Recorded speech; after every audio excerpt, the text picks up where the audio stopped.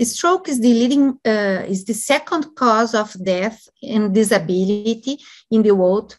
Uh, and uh, one in four of us will have a stroke in our lifetime, according to the last global burden of disease. And um, we should improve the global strategies for prevention to decrease the stroke incidence, but to, to decrease mortality and disability, we need to establish stroke centers and stroke systems of care to put the right patient in the right hospital for treatment.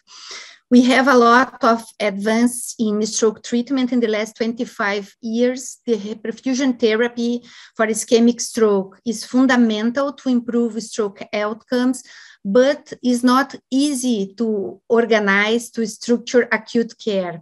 So my lecture is about this, uh, is about how to organize stroke centers, how to implement reperfusion therapy in low resource settings, and how to create a network in the region to connect the hospitals, pre-hospital, and inc- including um, the connection between the hospitals and uh, to educate the population, to call the pre-hospital and to arrive fast in the uh, stroke centers in the region. So it's about this, how to do and how to include this in a national policy uh, of stroke as we did here in Brazil and all in and uh, always work together in other countries in Latin America to implement.